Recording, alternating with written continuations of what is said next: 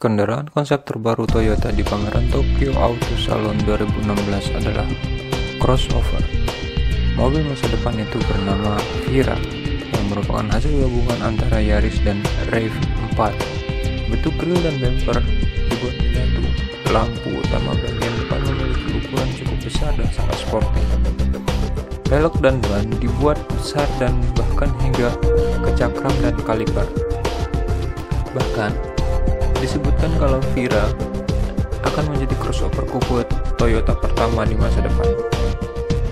Spesifikasi teknisnya tidak disebutkan, tetapi model konsep ini akan dibekali teknologi canggih dan terkini.